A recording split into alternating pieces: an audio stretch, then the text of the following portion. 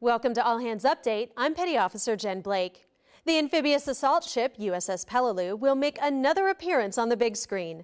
Peleliu is the stage for a documentary shot on Image Maximum, or IMAX, to show the Navy's sea power.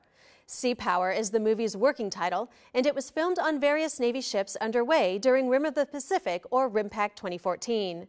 The exercise gave the IMAX crew the opportunity to get an overview of the formation. This is the first carrier-centric film for IMAX. The film crew visited USS Independence, USS Ronald Reagan, and Kaneohe Bay, Hawaii to shoot amphibious operations. The film is in the early stages of production, and producers hope to see it complete sometime next year. Eventually, there may be a feature-length IMAX film that could play worldwide in more than 400 IMAX theaters.